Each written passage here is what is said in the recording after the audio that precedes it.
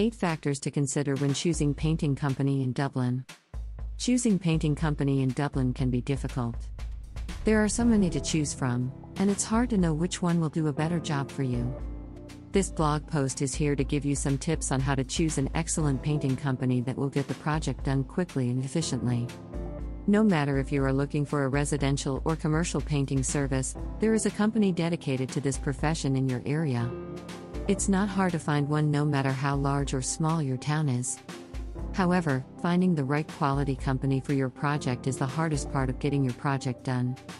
The right contractor has an eye for detail and can provide quality work when it comes to painting homes or commercial painting. That is what the majority of clients mainly seek to hire a service that is guaranteed. When choosing a painting company in Dublin, you have to ensure the contractors have the experience and skills to do the job correctly before hiring them. This way, you will feel calm and just wait for the results. Read more https colon slash slash paintingincolour.ie slash 8 factors when choosing painting company slash